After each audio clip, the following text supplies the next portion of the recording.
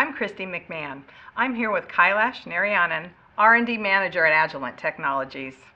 We're here talking about the Agilent UXM wireless test set, just announced for 4G chipset and UE development. Kailash, tell us about the UXM. Thanks, Christy. The UXM is a completely new generation of signaling test set.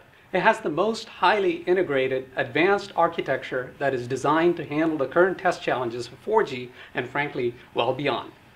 The UXM was created for design validation, focused initially on LTE and LTE Advanced, but it's a multi-format capable platform and ready for much more. We're very excited about the possibilities. The UXM allows development engineers to hmm. assess their design readiness with greater confidence. It offers flexible RF performance testing of both transmitters and receivers, plus deep functional performance testing, including IP data connection, data throughput, mm. protocol logging, and handover scenarios. We know Agilent and Agilent's competitors have had test sets in this market for some time. If someone has one of these other instruments, why should they now consider Agilent's UXM?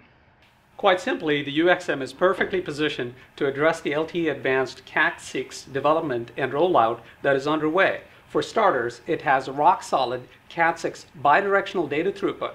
It's really exciting. It's got 300 megabits per second in the downlink and 50 megabits per second in the uplink. The UXM has two independent 100 megahertz bandwidth RF transceivers that enable multiple cells, carrier aggregation, 4x2 MIMO, and integrated fading which can be independently controlled for each component carrier. The UXM also supports a highly flexible downlink allocation scheme and closed-loop testing for very thorough receiver analysis and the ever-popular Agilent X-Series measurements for transmitter test. Plus, there's tons of headroom for future possibilities. Looking at the instrument, I see that it has a huge touchscreen display. What was the motivation for that?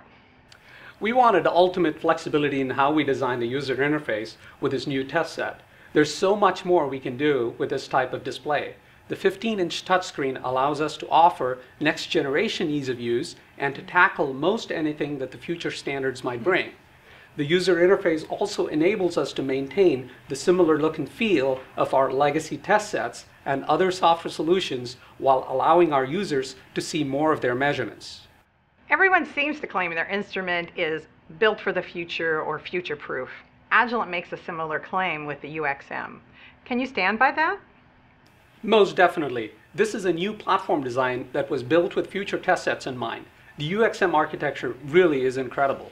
It was designed with modular extensibility in mind, with upgradable processors and multiple expansion slots, and has buses with multiple lanes of high-speed interconnects, all adding up to a blazing fast backplane.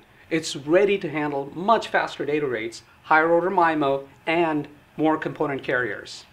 If you were to distill down the top contributions the UXM provides to the typical cell phone designer, what would they be?